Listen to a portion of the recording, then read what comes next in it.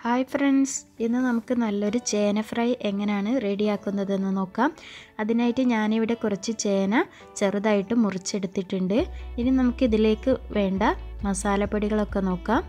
രണ്ട് സ്പൂണ് കാശ്മീരി മുളക് പൊടി ഒരു കാൽ ടീസ്പൂണ് മല്ലിപ്പൊടി മഞ്ഞൾപ്പൊടി കുരുമുളക് പൊടി ഗരം മസാലപ്പൊടി പിന്നെ ഒരു സ്പൂണോളം ഇഞ്ചി വെളുത്തുള്ളി പേസ്റ്റാണ് പിന്നെ കുറച്ച് കറിവേപ്പില പിന്നെ ആവശ്യത്തിനുള്ള ഉപ്പ് പിന്നെ ഒരു കഷ്ണം ചെറുനാരങ്ങയും എടുത്തിട്ടുണ്ട്.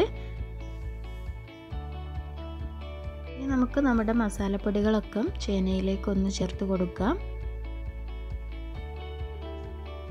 ഇനി നമുക്കിതിലേക്ക് ചെറുനാരങ്ങ കൂടി പിഴിഞ്ഞു കൊടുക്കാം. ഒരു രണ്ട് സ്പൂണോളം ചെറുനാരങ്ങ നീര് മതിയാകും. അതുപോലെ തന്നെ ആവശ്യത്തിനുള്ള ഉപ്പും കൂടി ചേർത്ത് കൊടുക്കാം. ഇനി ഇതെല്ലാം കൂടെ ഒന്ന് നന്നായിട്ടൊന്ന് മിക്സ് ചെയ്തെടുക്കാം. ഇപ്പം ഞാൻ നന്നായിട്ട് കൈ വെച്ച് നന്നായി തിരുമ്മി എടുത്തിട്ടുണ്ട്. നമ്മുടെ ചേന ഒന്ന് ഫ്രൈ ചെയ്തെടുക്കാം. അതിനായിട്ട് ഞാനൊരു പാൻ വെച്ച് അതിലേക്ക് ഓയിൽ ഒഴിച്ച് കൊടുത്തിട്ടുണ്ട്. ഓയിൽ നന്നായിട്ട് ചൂടായി വന്നിട്ടുണ്ട്. നമുക്ക് നമ്മൾ മസാല പുരട്ടി വെച്ച ചേന അതിലേക്ക് ഇട്ട് കൊടുക്കാം.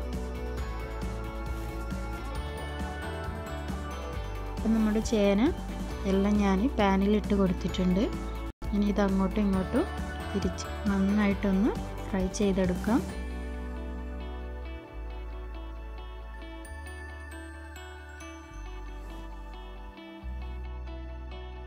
ഇതിപ്പോൾ ആയിട്ടുണ്ട്. ഇനി നമുക്കിതിനെ ഓയിലിൽ നിന്നും കോരിയെടുക്കാം. ചേന ഫ്രൈ ഇവിടെ റെഡി ആയിട്ടുണ്ട്. നമുക്ക് ചോറിന്റെ കൂടെ കഴിക്കാൻ വേണ്ടി നല്ല ടേസ്റ്റി ആയിട്ടുള്ള ഒരു ഐറ്റമാണ് അപ്പോൾ നിങ്ങളെല്ലാവരും ഒന്ന് ട്രൈ ചെയ്ത് നോക്കണം. നമുക്ക് നോൺ വെജ് ഒന്നും ഇല്ലാത്ത സമയത്ത് ഇത് കൈ ഇത് കൂട്ടിയിട്ട് ചോറ് കഴിക്കാൻ വേണ്ടി നല്ല ടേസ്റ്റാണ് അപ്പോൾ മറ്റൊരു പുത്തൻ വീഡിയോയുമായി കാണുന്നത് വരേക്കും. ബൈ